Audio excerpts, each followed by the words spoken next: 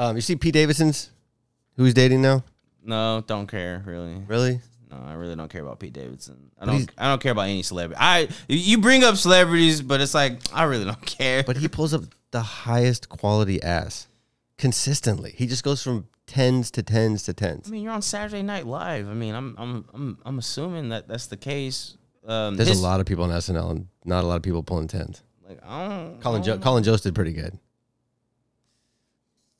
The Emily Ratajkowski something something, but he goes from Kim Kardashian to Ratajkowski to freaking whatever the singer's name is that he's going out with.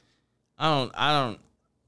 If it's not about anime, I really don't know much about it. that, that's what Joe's here for. a- Jo- a- Joe's the one that knows about most of the entertainment. It's stuff. impressive though.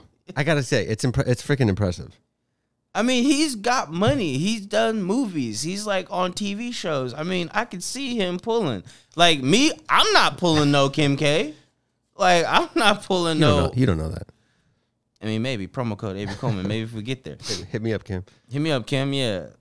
Nah, that's a black man's death trap. Every every time a black person goes to Kardashians, they end up being crazy. I mean, look at Lamar Odom. I mean, uh, look at look at uh uh what's his name, Tristan Thompson. Oh yeah, yeah. like like I don't know, man. I don't know. I think Kris Humphries got out got out when he In could. and out, like two months, cool. I'm he out. got That's out when he all I can could. He's like, "Oh, I'm out, man. My career on the line."